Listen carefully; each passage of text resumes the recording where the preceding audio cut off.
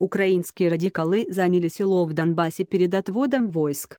Украинские радикалы заняли село в Донбассе перед отводом войск 4.53 7 октября 2019 года РИА Новости, Александр Максименко, Полк Азов. РИА Новости, Александр Максименко, Полк Азов. Архивное фото Москва, 7 3 Новости. Боевики националистического полка Азов, ультраправая группировка, на многих лидеров и участников которой заведены уголовное дело в России, заняли село Золотое в Донбассе, откуда 7 октября в соответствии с минскими договоренностями должны вывести украинские войска. Соответствующее видеообращение главы подразделения, экс-депутата Рады Андрея Белецкого опубликовано на YouTube. Как утверждает Белецкий, боевики заняли населенный пункт по приглашению местных жителей, которые якобы боятся, что окажутся после отступления украинских войск в серой зоне.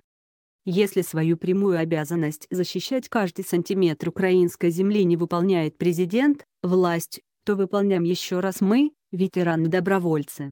Мы даем слово, что мы никогда не покинем наш последний блокпост, заявил глава Азова. 2 октября на встрече в Минске участникам контактной группы удалось согласовать график разведения сил и средств в Золотом и Петровском. Процесс начнется 7 октября. Отвод войск является одним из условий проведения нового саммита Нормандской четверки. 3 октября, 08 двоеточие 00 РИА Новости. Формула Штайнмайера как урок для Киева.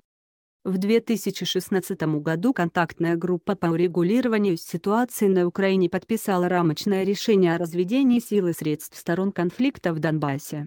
Отвод сил в районе населенных пунктов Золотое и Петровское состоялся в 2016 году, в станице Луганской в июне 2019 года.